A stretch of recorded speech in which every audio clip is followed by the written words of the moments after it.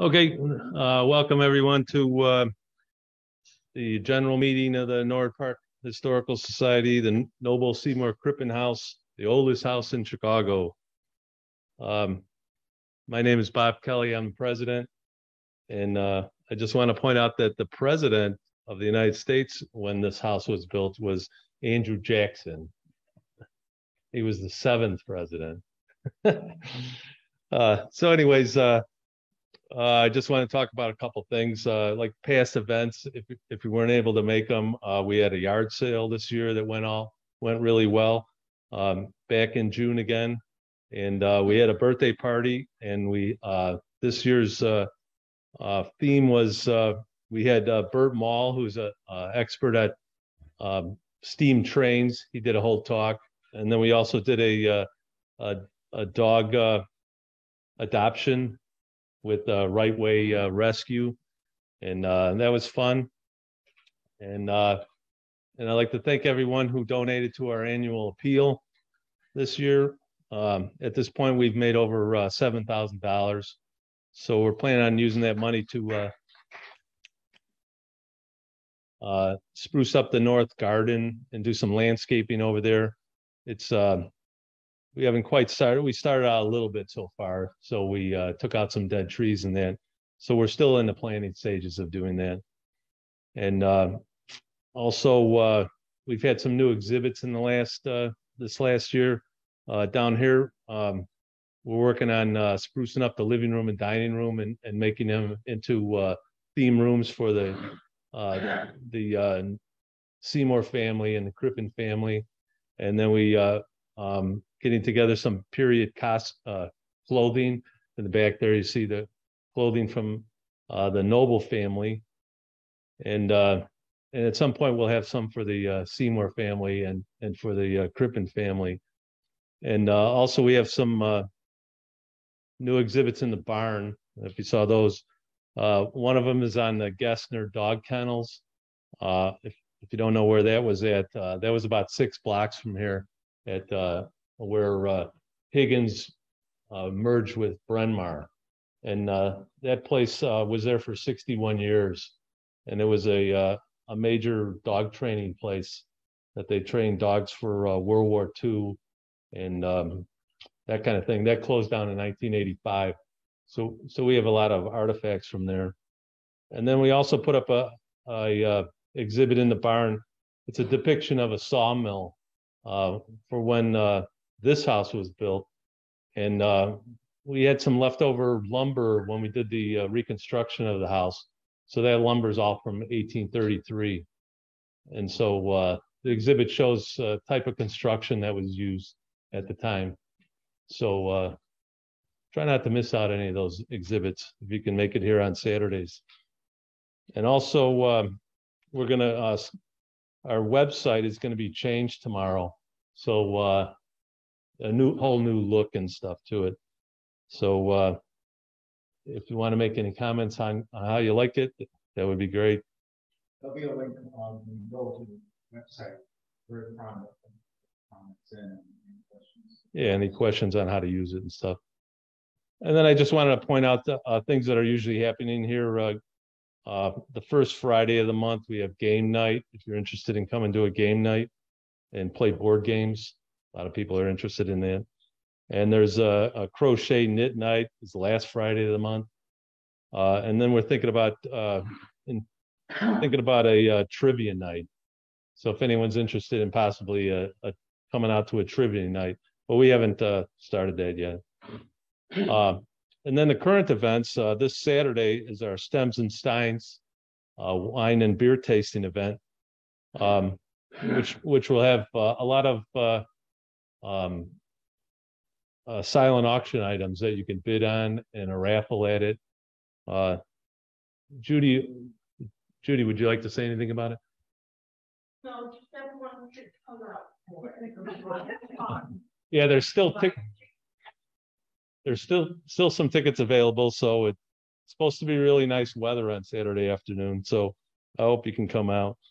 And then next month, uh, um, in October, we're having an indoor sale here on October fifteenth and sixteenth. Uh, if you're interested in that. And, uh, uh, and then, uh, on October nineteenth, our next general meeting, we'll have the, uh, Alderman, um, Anthony Napolitano here. So if you, uh, want to hear anything that's going on in the neighborhood, uh, you should come out.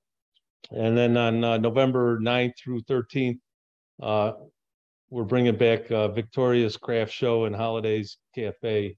So I hope, uh, you can come out to that. And, that'll be a, a five-day event here. So a lot of Christmas, craft stuff to see. And, anyone have any questions about anything?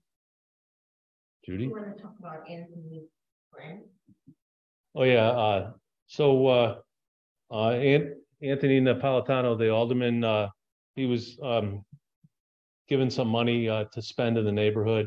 And so he's, he's offered us, uh, twenty-five thousand dollars that we could use towards some improvement to the house. So, uh, um, that's what he's offered us so far. So, uh, and that's gonna take a little while, but, uh, that would be really great, to be able to maybe, I don't know, fix a garage or uh, do some other, other improvements to the place. So, uh, that's really nice that he's doing that. Um, okay, so, uh, might as well get to the show. Uh, I want to welcome back, uh, Joe Geringer. He, uh, he was here, uh, last year doing a, um, talk on uh, Al Capone and, uh, and Eliot Ness, and, uh, it's great to have him back here. So tonight's program is about, uh, life on the, uh, on the, uh, in the area in, around the time of, uh, Fort Sheridan, Fort Dearborn. In, uh, eight, around eighteen hundred. Okay, okay, it's here for Joe.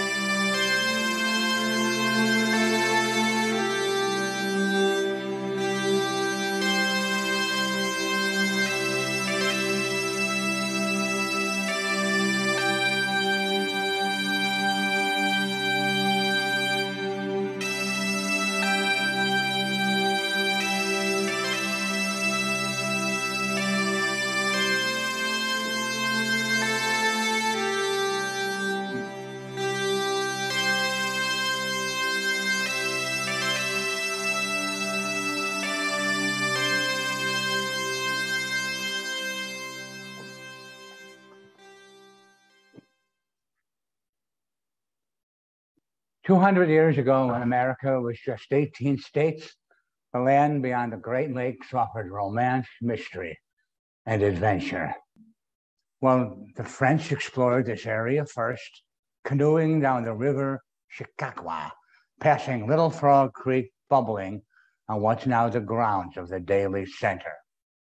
Now, today, what we call downtown Chicago or the Loop with the entire north side above it. Believe it or not, back then, that was one continuous mammoth forest.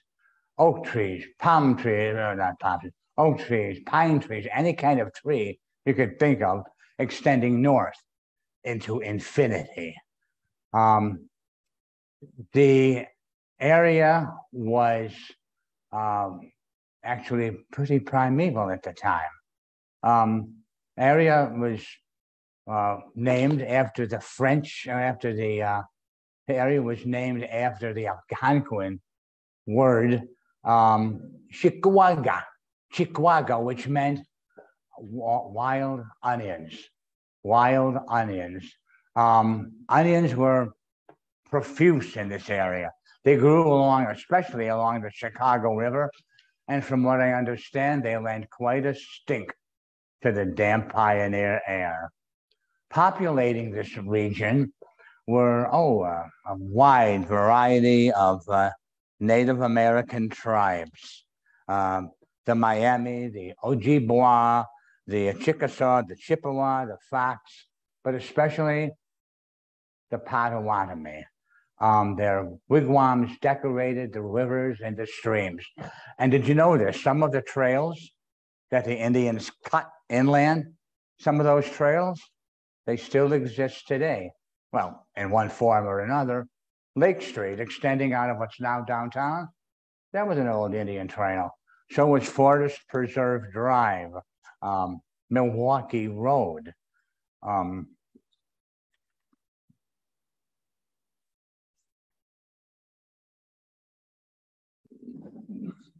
um, well, decade after decade, the white man and the red man lived side by side very peaceably for many years. There was never, there was never any trouble, not until the War of 1812, which brought disaster, chaos, and uh, death.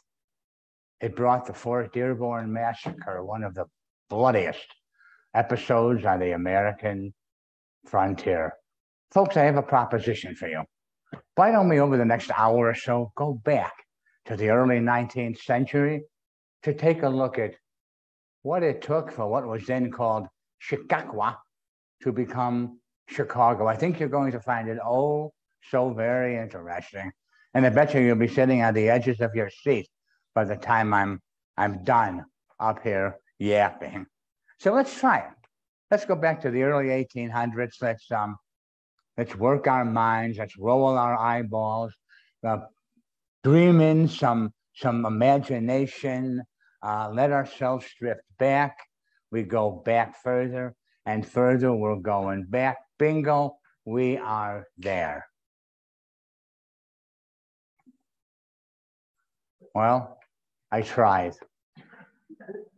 But seriously though, don't you wish time skipping was really was really that easy?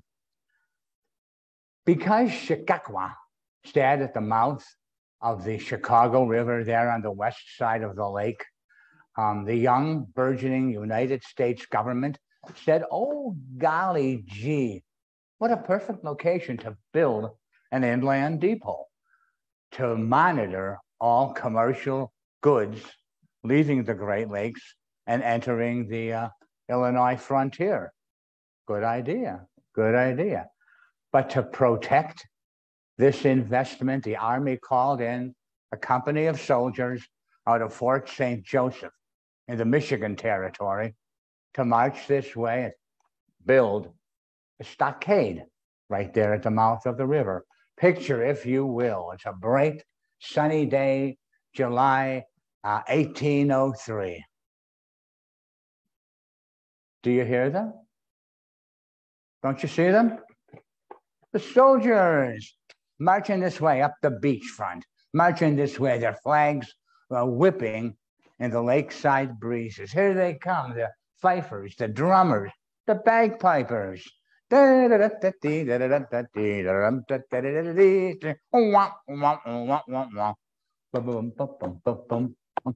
Two thousand Potawatomis who live right there along the lake rush forward, gush forward to greet the troopers and to show that they're going to be excellent neighbors. What do you think they do? They help the troopers chop down trees on the north side of the river, the, uh, the woodsy section.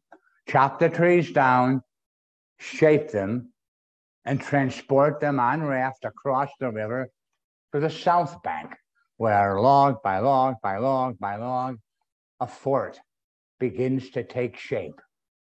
80 yards by 90 yards, Fort Dearborn, named after the then current Secretary of War, Henry M. Dearborn, becomes what two years later a traveling journalist will describe as the prettiest yet most formidable frontier stockade. There it sits. It sits in the middle of absolutely nowhere. It's two block towers overlooking the curvature of the Chicago River where it empties into the lake.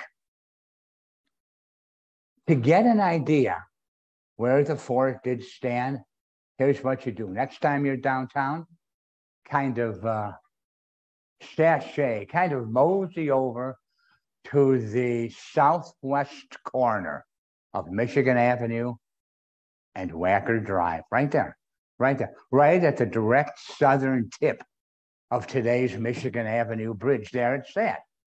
Of course, Back then, there was no Michigan Avenue, there was no uh, city. All there was was God's blue, blue sky and acres upon acres of virgin territory. But there the fort sat, a strong symbol of American westward movement, a metronome of manifest destiny. Manning the fort was the first U.S. infantry, dashing in their dark blue uniforms, tall black leather shako caps with a pom pom, uh, white cross belts, and at their hips a bayonet and a canteen.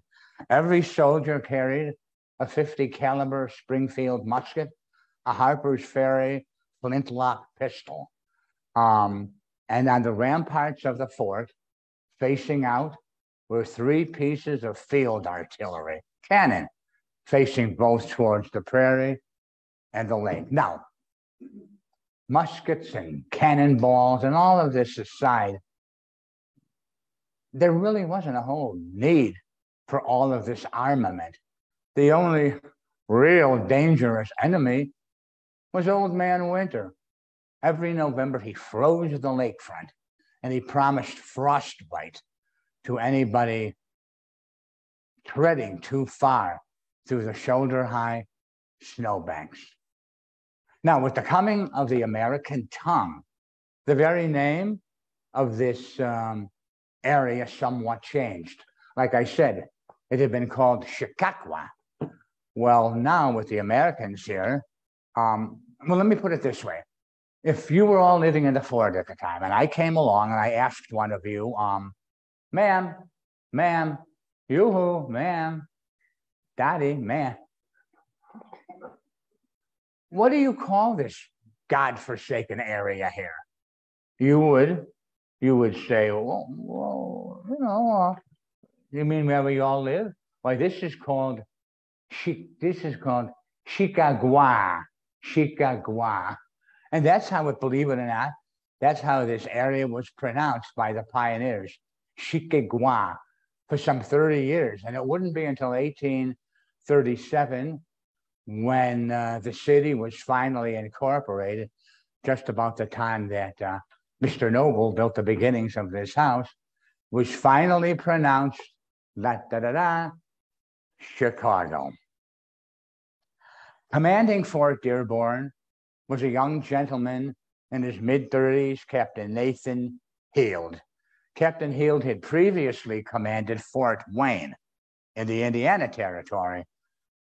But uh, when he was transferred out here to Chicago, neither he nor his wife, Rebecca, were very happy campers. I mean, they were not happy at all.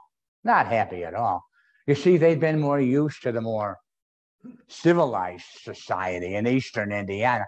They were not ready for this middle of nowhere. There's nothing. There's this remoteness. I mean, uh, nothing to do. No civilization. But Captain Heald, he really should have known, even before he came here, that to the fur trappers who lived here before the soldiers came, civilization was the last thing that they wanted. Why? Because it would have interfered with their industry. And what was their industry?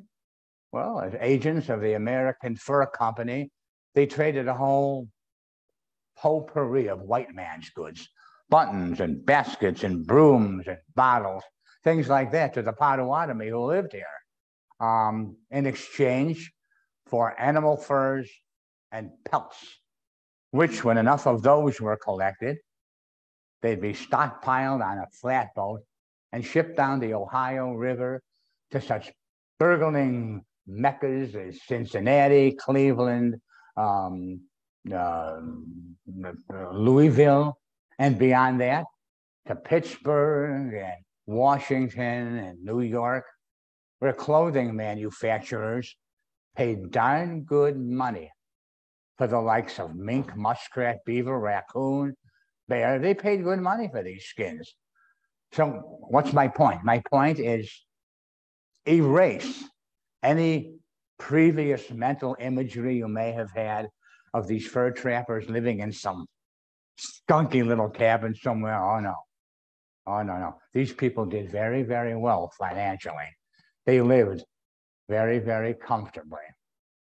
The two most successful trappers living here in 1803, when the soldiers first came, were a black Santo Domingan named Jean Baptiste du Sable. Du Sable was the first non Native American resident in this, uh, in this area, and his French neighbor, Antoine Wilmette. Wilmette, that name sound familiar? But the most overall productive trapper was actually somebody who showed up here about a year and a half to two years after the soldiers came. His was a name we all learned in grade school John Kinzie. John Kinzie, he showed up here around January of 1805 with his wife Eleanor and three kids to open up his third trading post here in the Northwest Territory. He already operated one in Kaskaskia and another one in a little in a little burg, not, not too far from here, a little north of here, called, you may have heard of it, Milwaukee. Now, John Kinzie, how can I say this? He was a very, he was a very animated character, very lively. Um, he sported a bright red beard, yeah, carrot colored hair. He had a chatty personality. And when he spoke, he did so in a beautiful rolling, that's hard to do, rolling Scottish brogue. Oh, the Indians love listening to Mr. Kinzie's musical lilt. They love doing business with John Kinzie. He was a very go get 'em type of guy, and he was a great salesman. He not only sold items to the Indians, he also sold items to the soldiers in the fort, items that the military didn't automatically supply boot black, chewing tobacco, and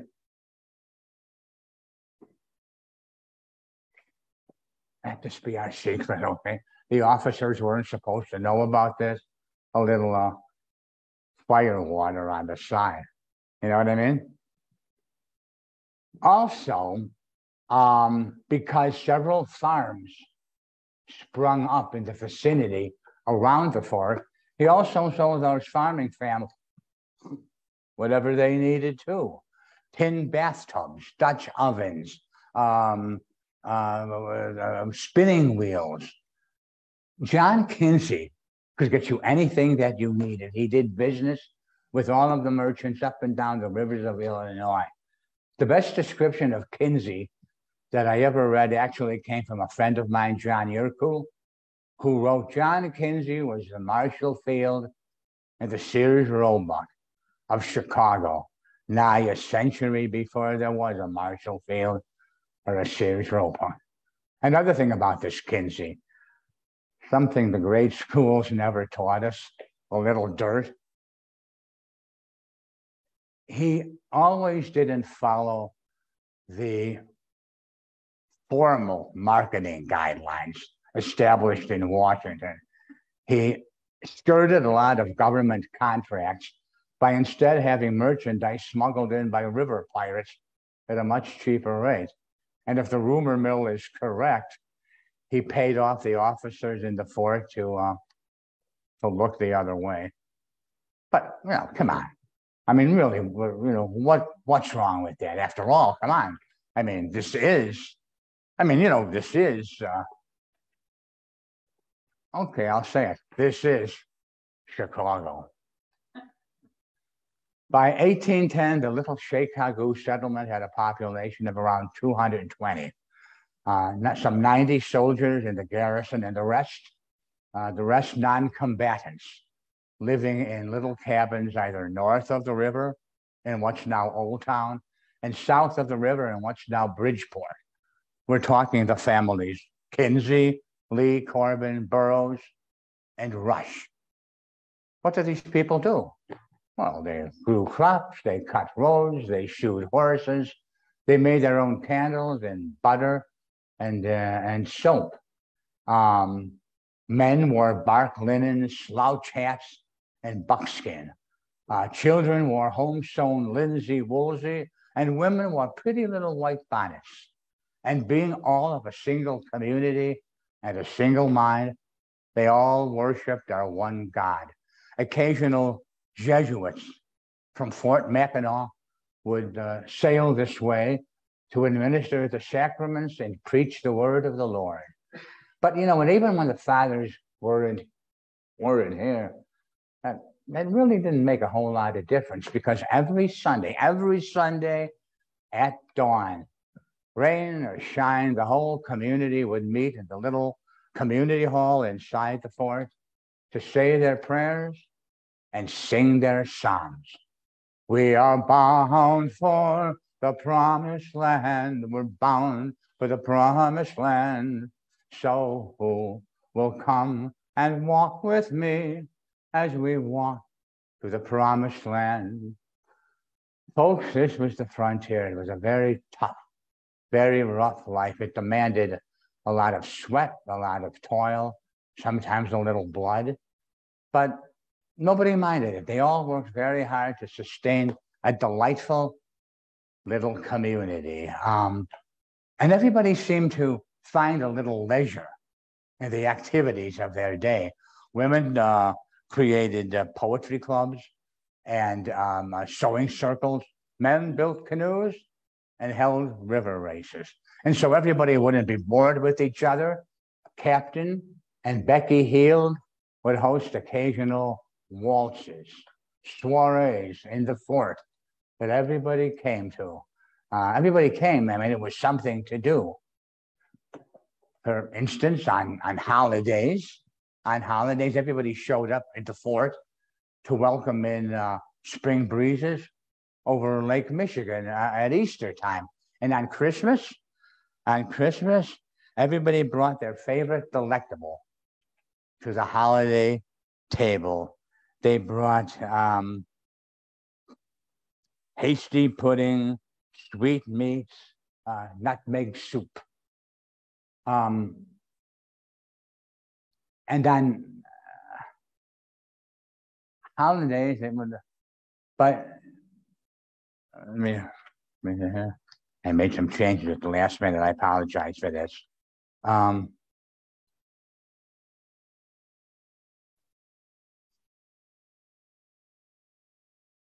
Imagine now it's Christmas.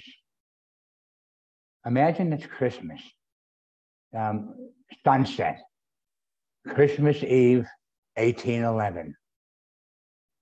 Everybody inside the community hall has gathered around the little um, harpsichord inside the hall to under the uh, amber flow of the, of the oil lights. And everybody is singing Away in a manger, no room for a bed. The little Lord Jesus lays down his sweet head. Outside, a gentle snow falls, tickling the landscape a steel blue under the moonlight. But inside the hall, oh, inside the hall, chubby, nay, fat chickens turn a magnificent, oily brown in the hearth, filling the room with such an aroma. Making myself, I'm making myself hungry here. But you know what? That brings up a good point. What did these pioneers, what did they eat on a weekly basis? Well, for one, folks, they ate a lot of they ate a lot of fish. Don't forget they had an entire lake at their disposal. They also made pot pies, stuffed with beef and venison, chicken and dumplings, oxtail soup, Johnny cakes, corn fritters. Um, farmers raised uh, uh, berries and a lot of apples. They raised chicken, beef, and swine. Children drank milk from the cows, and adults something called chicory coffee, except on special occasions, hot buttered rum. Everybody sweetened their biscuits with honey, uh, molasses, or any one of a number of spices available in John Kinzie's general store. At, at supper time, the little village wafted of the wonderful odors of bacon or ro- roasted beef or chicken sizzling on the spit, or Indian corn blackening over the open fire. From just up the river, from the Potawatomi camp, would often drift in the, the sedating mellowness of their campfires, of dried mulberry twig and salted acorns. All right. I just brought up the Potawatomi Indians. You may be wondering, yeah, hey, Joe, what about the Indians? You haven't really mentioned anything about them. How did they and the whites get along? Wonderfully. I mean, they were true blood brothers. They, they got along very, very well. They hunted together and they fished together. They swam together. They played games together.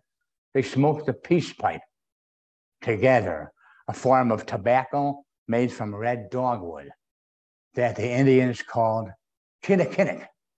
And it wasn't rare that a handsome trooper and a sweet-faced Indian squaw might uh, pedaddle in the woods north of the river to the background of some babbling brook.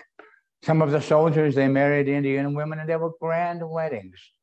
Food supplied by the women of the settlement and music provided by some of the men like John Kinzie, who bowed a darn good country fiddle. Folks, to illustrate how fraternal, how friendly this atmosphere here was, the Potawatomi Braves would just night and day, anytime, waltz into the gates of the fort. They would, unchallenged, they would cross the compound and walk into the soldiers' barracks, walk into the soldiers' barracks to play games with the soldiers, games that the soldiers had taught them. I understand some of some of them love to play uh, love to play chess. Um, sometimes the Indians would barge in to Captain Heald's private office. He didn't care. He didn't care. As long as he wasn't doing anything, he'd sit there all day and chew the fat with them. Sometimes on cold evenings, you would see some of the soldiers' wives lugging heavy iron kettles of hot soup to feed to the Indian children, um, Indian children who they uh, heard about who were sick. Um, on more temperate evenings, the people would stroll the beach, just stroll the beach. Um, man, uh, Indian, whites alike, hand in hand, arm in arm. They'd stroll the beach along what's now 12th Street Beach or Oak Street Beach. The soft slush of the surf eddying around their boot heels and moccasins. Lake Michigan, an endless mirror reflecting the gold of the moon. I mean, it must have been a very, very, very beautiful scenario. Now, the Potawatomi adored their one god, Kishe Munudo, but yet they loved hearing stories about the white man's Jesus Christ.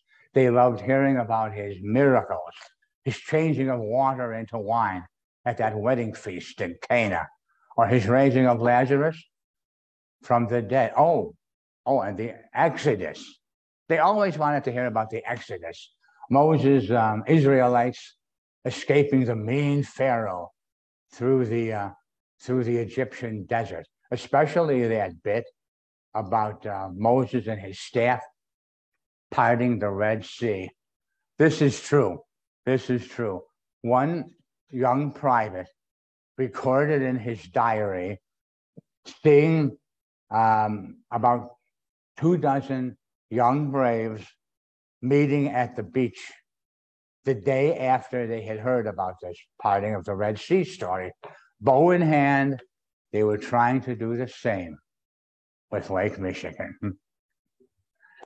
Now, where the Indian village stood was exactly right, exactly where the uh, merchandise mart stands today. At the time, it was called Wolf Point. Wolf Point. It's where the Chicago River separated, uh, uh, it still does, where the Chicago River separates into a north and a South Branch. Every morning, the sentries on the wall of the fort could look out and see through the mist the hundreds of round shaped uh, Potawatomi wigwams hugging the southern branch for miles, what today would mm. be around Union Station to about 31st Street. Hundreds of wigwams. Now, this village on the lake was only one of others. The Potawatomi also maintained another village in present day Lockport, one in Kankakee, and another one along the little winding Calumet River in what's now Riverdale. Occasionally, the high chiefs of all four locations would come together to meet to ward off any growing problems or plan events. They would always meet at kind of a midway point out on the prairie under what they called the council tree, which was a prehistoric, a huge prehistoric oak tree.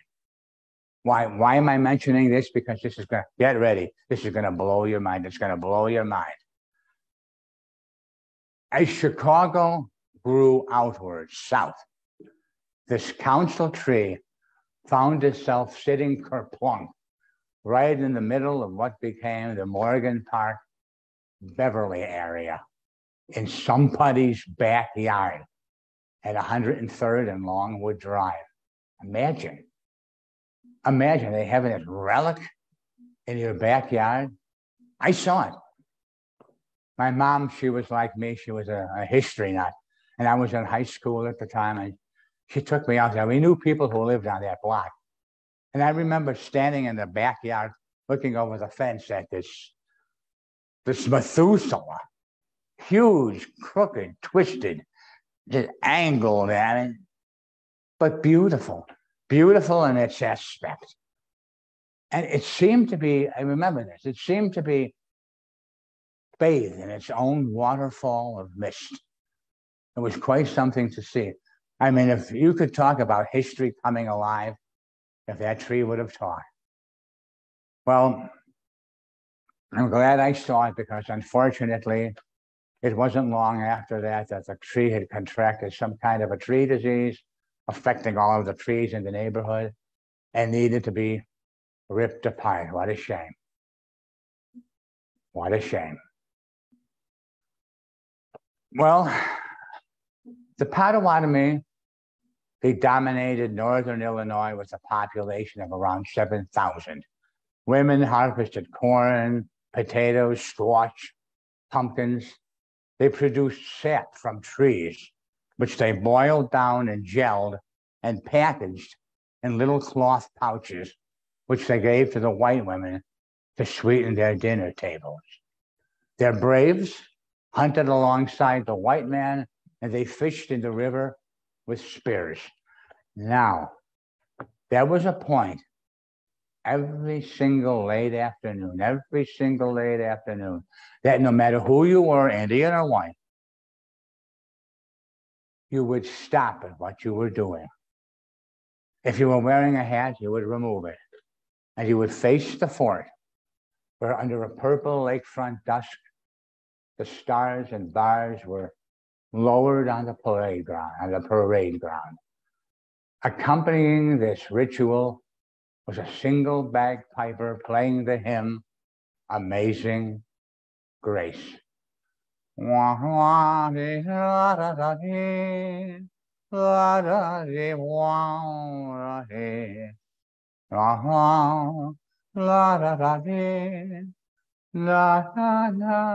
These beautiful notes pirouetting through the through the pioneer breeze. I mean, it must have been a tranquil moment, and all seemed right with the world. But all was not right with the world. England, jolly old England, wanted desperately to reclaim lands it lost in the American Revolution 30 years earlier. That included some of the Great Lakes area. Unbeknownst to America, trained British agents were manipulating through the territory, visiting all of the respective Indian tribes, trying to get them to incite against the American army. America, they said, has been cheating you on the price of land and of furs. But if you fight on the side of King George, why, we will reward you with land and silver coins by the sackful. Clink, clink. And the Indians, they listened. And if this wasn't bad enough, at the same time, we had an upstart Shawnee chief named Tecumseh with a chip on his shoulder the size of Illinois, who was going through the same area, trying to recruit disciples to fight his own war to stop American westward movement. He was a great orator. He knew the power of words. And he told his, his red race that if we don't stop the American influx, it's going to mean the uh, genocide of us red men. Like I said, he was a great speaker. Um, all the other tribes jumped on Tecumseh's bandwagon. The Miami, the Ojibwe, the Ottawa, the Sauk, the Fox, the Sioux, uh, the Chickasaw, the Chippewa, they all jumped on his bandwagon and his words spread like wildfire across the region. They spread here to Chicago. When the old boy himself, Tecumseh, visited the Potawatomi here, but he didn't get the reception he expected. He sat down with the he sat down with the chief of the Chicago Potawatomi, who told him right out Tecumseh, thank you for stopping by, but I'm really not interested. We and the white man, we have lived together many years now. We love each other, we help each other, we protect each other, we intermarry. So, again, thank you for coming by, but right now I'm not interested in, uh, in ruffling the waters of warfare. Be on your way. Now, if the rest of the Potawatomi tribe felt like he did, I wouldn't be here today talking about a Fort Dearborn massacre. However, unfortunately, some of the young braves were, to quote an old axiom, bored out of their gourd.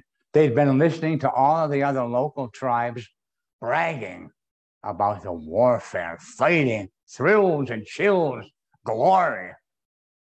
And what were the Potawatomi doing here? They were hunting and fishing.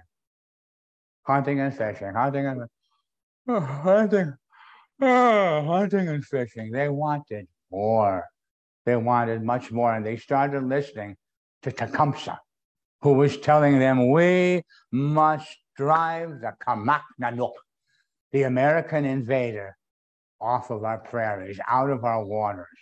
And we must do it on an altar of blood to be sure that they never, ever come back. Well, they were mean words. Oh, they were mean, mean, mean, mean words.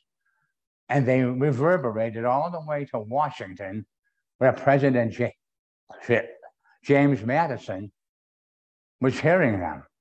And he panicked.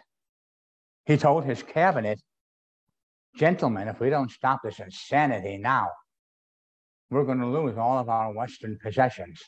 He declared war against Mother Britain and against any red ally who sided with Britain. At the same time, Congress issued a writ forbidding further sale of alcohol and armament to the Indians. Well, when the Potawatomis got wind of this, they were angry. They were beside themselves.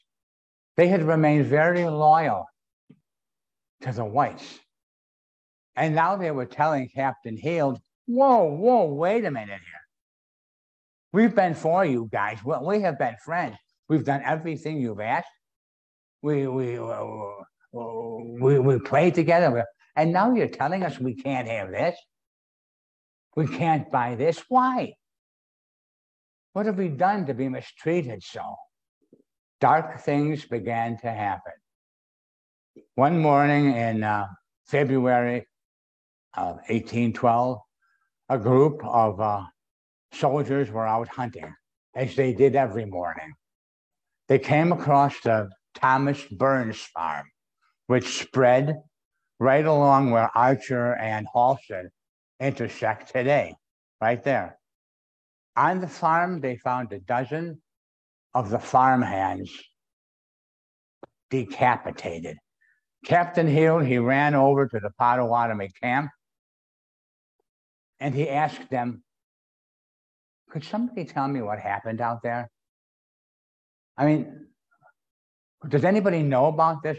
Well, the Potawatomi, oh, they, they were, you know, hurt. They, you know, mumbled and they, they looked at Captain Heald and I, we don't know nothing about that. Don't ask us. We don't know nothing. But the settlers weren't buying it.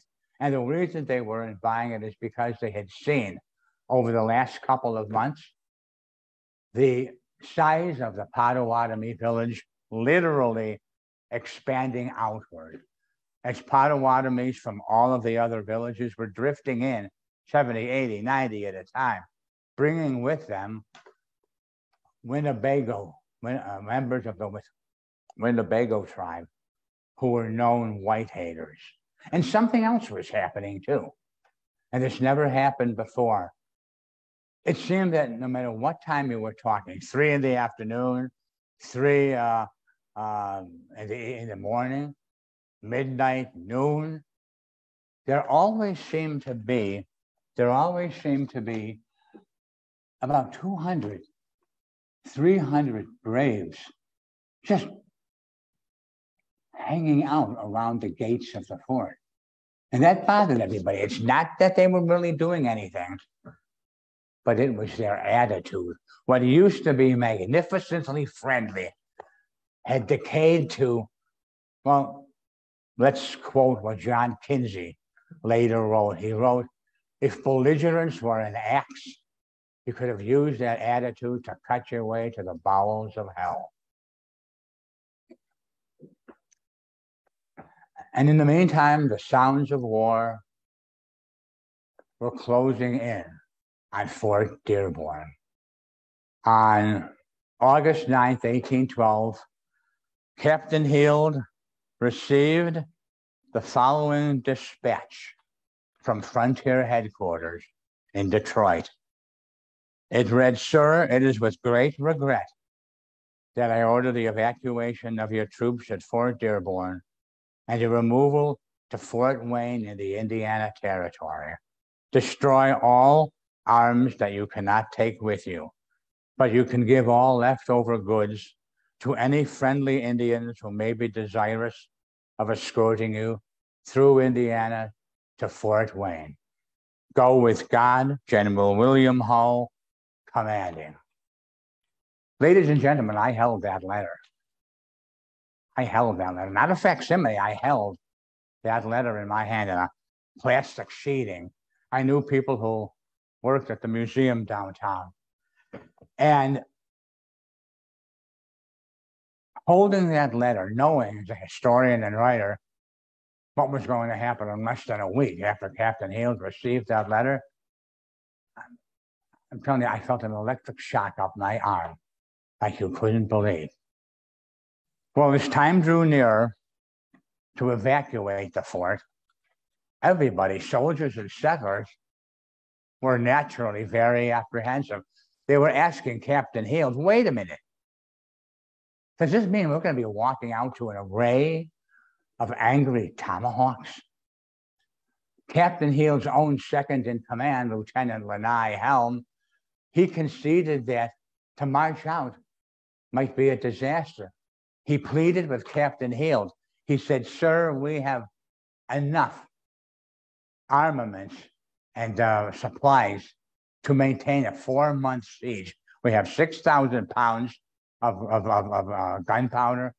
We have three working canning. We have 400 cattle in the corral.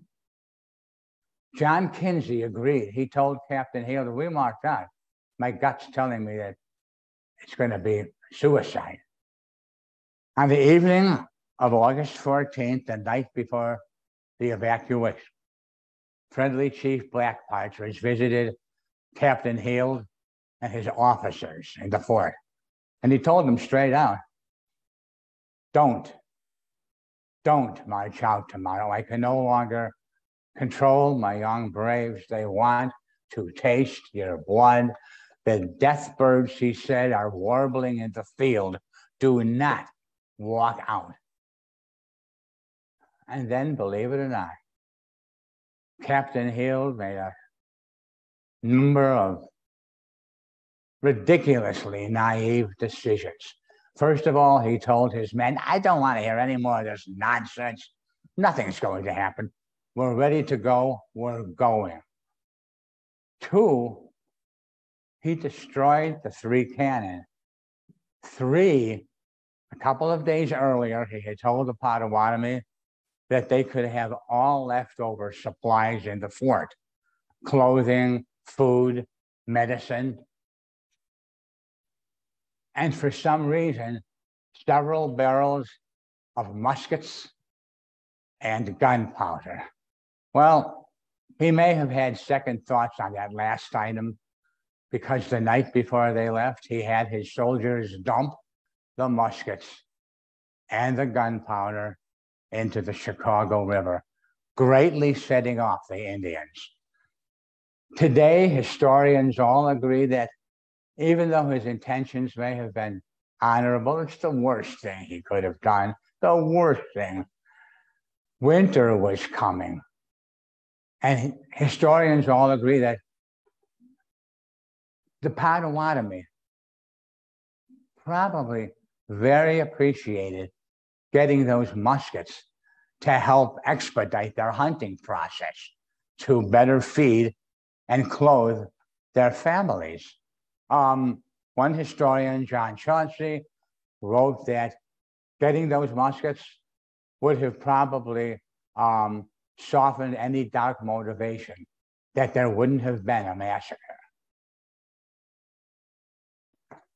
Well, that night, after watching Captain Heald's promise literally go into the river they held a war dance in their in their uh, camp all night long, all night long, pounding, pounding, every minute pounding, every second pounding, yelping, whining, screaming, yelping, screaming, screaming, guns going off, screaming all night long until sunrise. Nobody slept that night in Fort Dearborn. With the first glimmer of dawn, the sentries on the wall of the fort realized that in the darkness, about 30, uh, about 300 Potawatomi had assembled outside the fort. They were, they said they were there to act as um, escorts to Fort Wayne, but something didn't match. They all held on to weapons they flourished in war paint. Um, 9 a.m., the gates sprung open and out marched about 200 very, very frightened people. The soldiers had already fastened their bayonets to their guns. The bandmaster, uh, Bob Lionel, accepting his fate, had his musicians play Handel's Death March. Right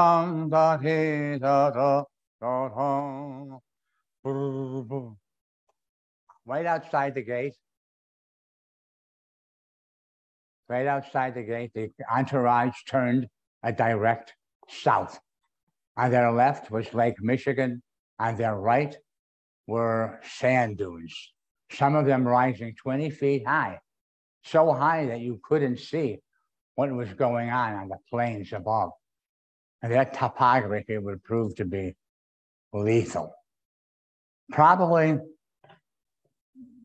excuse me, probably the smartest person on the beach that morning was John Kinzie. For he put his wife and children in a skiff 30 yards out on the boat. They would follow the procession as it moved south along the beach.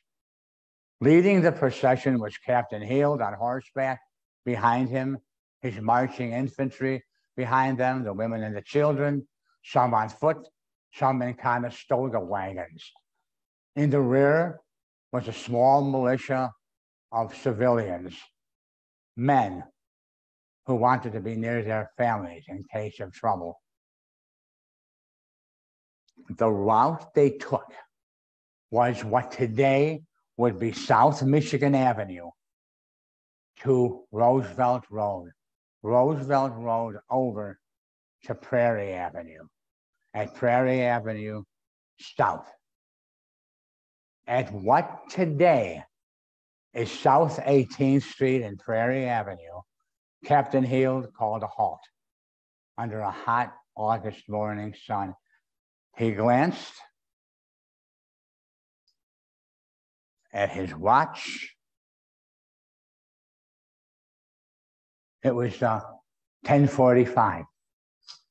And he was wondering why the Potawatomi escort was suddenly laughing, dancing, cajoling, singing. He wondered what's all this about. Well, he didn't have to wait long. Suddenly, over the crest of the sand dunes, poured about 1,500 Potawatomi and Winnebago, all carrying tomahawks, all crying in their language, death to the white man. A bugle blew, blew a bugle blew. Captain Heald draw his sword. He yelled, charge. And his men, bayonet out front, charged the sand dunes. Uh, the Indians momentarily uh, parted. But over, over leading the, the size of the whites, they quickly regrouped and they pushed the army into the lake, cutting them off from the women and the children. The women and the children, now totally defenseless, fell prey to the savagery. Indians, they crawled into the back of wagons. They beat the little children to death with their war clubs in front of their mothers. They pulled their mothers out onto the sand, raped them, and cut their hearts out. Um, there's a lot more I can tell you, but I think you got the idea. In the meantime, poor Black Partridge was running through his own men, crying, Please, no more, no more killing, please, please. Somehow he, he happened to procure a ceasefire he brought a very badly wounded Captain Heald to meet with his uh, tribal chieftains. Um, seeing that his army was gone and that the beach literally writhed with dying women and children, he surrendered his sword, his sword, under the promise that nobody else would be hurt. The Indians promised. Oh, yeah, they promised until they got the survivors back to the camp. There, they roasted officers over fires. They made the women run the gamut of graves as they beat them over the head with rocks. One young girl, 14 years old, whose crying was getting on, a, on an Indian's nerves, he tied her to a tree as food that night for the wild animals. Those who were still alive, the Healds, the Kinzies, and several others, they were sold off to British forts along the Great Lakes. Three years later, at the end of the war, which America won, they were returned to federal forces. Now, America had won the war. Those Indians back in Chicago who had caused most of the trouble, they ran for the hills, knowing America verbally wanted revenge. They ran and they ran, but they couldn't run. They couldn't run far enough. Unfortunately, America was just a little too hot under its collar. They came across any Indian village even though they had nothing to do with the massacre. They were Indians, that's all that mattered. They just shot anything that looked like an Indian dead. And that, and that was terrible too. Um, finally, um, those who were still alive made it back home alive. Now, the Indians never returned to Chicago, but John Kinzie did. He resumed his mercantile trade and he grew up at the beginnings of the city. He was called the grandfather of Chicago, and he saw Chicago sprout along the lakefront. Um, the military, they came back too. They built a second Fort Dearborn over the remains of the first. The Indians had burnt it. Um, it remained there. The second Fort Dearborn remained there uh, pretty much until an early evening in October 1871 when the Chicago fire ruined and burnt the rest of it. Now, the Potawatomi, having been all round, having been all rounded up, were eventually brought to what's now Oklahoma to a reservation.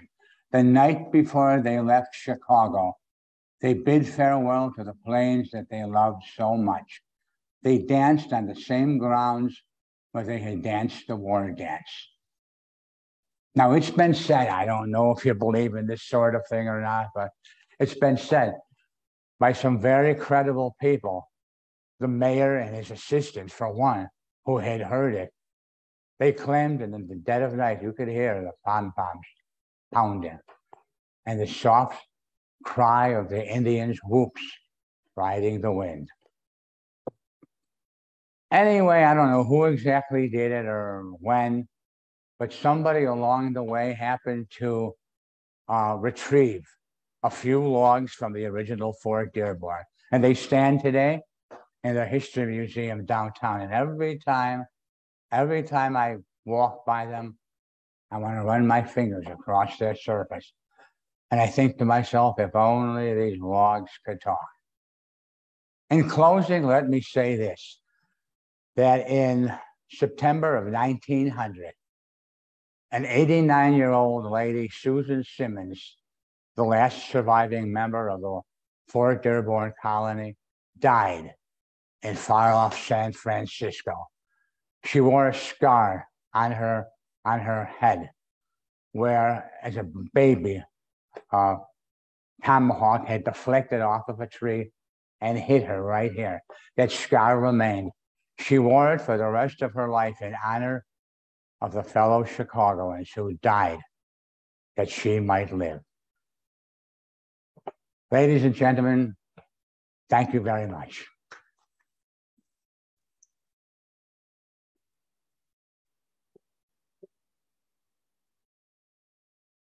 Any questions? I'm a little hard of hearing, so. How did the Indians and the white people? Communicate if they didn't know each other's language? Um, there actually there was a, a, a couple Indian interpreters who lived on uh, who lived on which was called the agency house, which was where a lot of the goods were sold back and forth. And John Kinzie himself knew the language. So how did, how did it come about? How did he learn it? He had Pardon? to- How did Kinzie learn the language? He didn't live with them, did he? Well, he lived in the he was raised by the Indians. I don't think the Potawatomi, but he was raised um, as a child. His home had been attacked. I think his parents were killed. Don't quote me on that. But he grew up with the Indians. Oh, Yeah. Any other? Thank you. Well, no, uh, Mark Noble, who built the original part of this house, uh, lived with. Lived in the Kinzie Yeah. Right, so that's the linkage between this house and the Kinzie's. Okay. What part of this house was the original? You're in, you're in, Okay. you're in. This, um, that was the summer kitchen. Sue, help me here. Uh, okay, so this, this space that we're in is the original house. From the wall you're looking at back there, and the entire footprint, this part of the house is the original house. And upstairs. And right up to the. yeah. This place is beautiful, by the way. Beautiful. So when Mark Noble came from England, he lived with the Kinzies, right? Yes. Well, he lived in the Kinzie house. So the Kinzies, okay, so Sabo built the house. And later the Kinzies lived in the house and then the Kinzies apparently rented the house to the Nobles. And so they Wow. were in that house between eighteen thirty-one and eighteen thirty-three when this house was built. And the location of that is essentially where the Apple store is right now on the Chicago. Hmm. Road. Got a question, sir? I thought you did. Thank you. Oh, Yeah, just a question about, about the lake, the lakefront, north of the Chicago River. Where would the shoreline have been during those evening, daytime? I'm sorry, what was that? The shoreline, north of the river, Yes. where is it in relation, where would it been in relation? to where- Okay, um, it's about where Wabash Avenue is now. Um, you may know this, the rest was built up with bricks after the Chicago fire. They needed somewhere to put everything, so they dumped it into the river and thus the, thus the shoreline was, you know, elongated. But, yeah, the, the, at the time, if you would ever see a map of Fort Dearborn, it was sitting right in a loop of the river. That loop was eventually straightened. So where Fort Dearborn actually stood was actually partly on, well, like I said, at the corner of um, Michigan Avenue and Wacker Drive. But part of it would have also been in the in the drop of the river. Uh, These are bronze markers. in the Mhm. Yeah. I've side seen the wall. pavement markers there, yeah, for the fork Yeah. yeah. Want to add on to that. If you go down to approximately eighteenth and first, which was kind of like the, the Gold Coast. It's a very wealthy bit.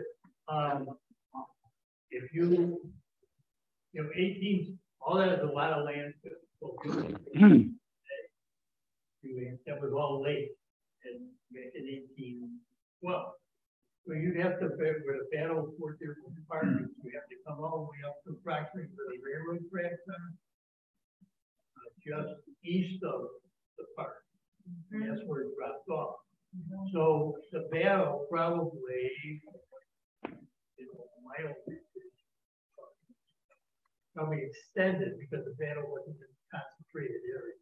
Probably extended from maybe Michigan Avenue down to where the railroad tracks are down to beach, so you'd have to you know, use a lot of imagination, forget all the land going east from there. that we didn't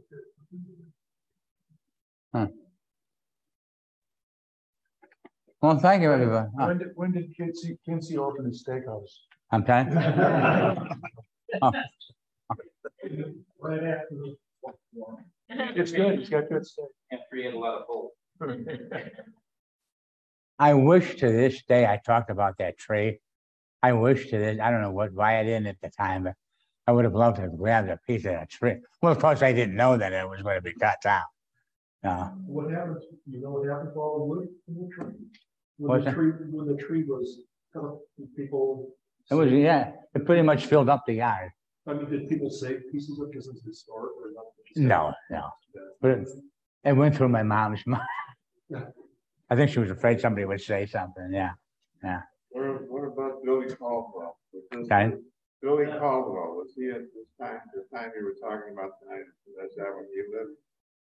Billy Caldwell, I actually had my ears back. Billy Caldwell, Was Billy Caldwell alive at the time? Yeah, he was very much responsible for keeping John Kinzie alive and Captain Heald and the officers because they were they were destined for the Indian camp to be killed. And Billy Caldwell, yeah, uh, you know, he he held a lot of weight. He they they he what he did is he talked the Indians into letting Kinzie, Heald, um, and a couple others, uh, uh, Lieutenant Helm, letting them go for the night to stay in the Kinzie house. And he said, I'll watch them. I'll be sure they don't get away. I think we need to think about what we're going to do. You know, when he knew darn well he was going to let him go. So they said, several of the uh, Potawatomi sat outside that night with guns, uh, with the with the direction that don't let anybody hurt these people. And by the morning came, um, I think it was Caldwell that talked talked the the uh, the Indians into letting them go. Well, you know, we're gonna we're gonna bring them to the British force, and they'll be mistreated there. They'll they'll get theirs. And once outside the city, he brought him to uh, Detroit, which was then still under American control, and they were uh, uh, they were they were pretty lucky. One thing that I, uh, and this is not a political thing, but I got into a fight one day uh, with some government uh, personage who I happened to mention just briefly passing. I don't know why they named the park um, the Battle of Fort Dearborn Park. Shouldn't it be a massacre? Oh, I I got hit with all kinds of charges, and I said, my family, look, to rush into the backs of wagons kill young defenseless children, rape women, cut their hearts off. If if I I'm Irish, if I found out that an Irish group did something like that, I'd have to admit, look, that's a massacre, you know. Uh, but it was a it was a, a really interesting time to live, and you know, too bad that it wound up being so hostile. Anybody else? Whatever happened then to um, the chief of the Potawatomi who, who tried to save him? What, what eventually happened to him? I'm sorry, sir? What eventually happened to the chief of the Potawatomi, Oh. Potawatomi who was trying to save him? That's the story in itself. Um, the, the, the, the village, I can't remember which one exactly. Um, yeah, I do. It was Peoria. His family lived in Peoria. And that was one of the, the, the villages that the American forces swept through. And, you know, they were not even involved in the massacre, but everybody there was killed. And um, he was so bitter that he spent the rest of the war fighting on the side of Britain. Yeah. He lost his entire family. And Tecumseh, what happened to him? He was killed, you know, I don't remember, I can't remember. I know he was killed. During the um, War of. Huh. And, uh, he was up in, uh, New York. They- Yeah. All I right. had a question. I, I read that the, uh, bodies of the people were left there for a couple of years. Yeah. Um, by the way, I have a handout uh, up there. Bring one home. It's uh, was taken from um, a site called Historical Hauntings or something. Um, there was construction along the Lake Michigan, and they came across these bones in a swatch of land between Indiana Avenue and uh, um, the lake around 12th Street, no, about 18th Street. And at first, everybody thought they were from a, a, a cholera epidemic that hit Chicago in the 1840s. They scientifically tested the bones, And they said, no, these are, these are from a lot earlier, around the, around the eighteen hundreds. And that's when they said, these have got to be victims of the, of the, uh, of the massacre. And this is, this is not my imagination, it's documented. Um, those bones were given a proper burial. They say within a couple of weeks. Figures wearing old-time military uniforms and women silently running through the area, screaming, of course, you couldn't hear any sound. Um, bus drivers who were returning their buses in the middle of the night to the CTA garage right there. They came forth and they said, We're not making this up. We've seen, we've seen it. So that's there's been no sightings since then, but yeah. And they were they were when the when the fort when the soldiers came back at the end of the war, the bones were still there. You know, just died under the sun. Yeah. Where was this burial? Where they buried all the bones? Pardon? Where was the burial that you're just talking about?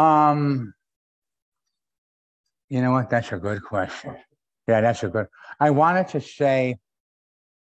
I wanted to say, in the old um, Fort Dearborn Cemetery, which was, which was right around where Dearborn. I think Dearborn and and LaSalle is now. Um, Fort Dearborn had its own fort, but that wouldn't have made sense because, yeah, yeah. But I don't know. Well, there was a a big cemetery at North Avenue. What's that? There was a big cemetery at North Avenue, Dearborn. Yeah, yeah. I've been there. No, John Kinzie, he's still here. He's buried in, and I can never think of the name of the cemetery. One of the biggies up here. That's it. Yeah. He's still here. But. Uh, well, Okay. thank you, everybody. Thank you.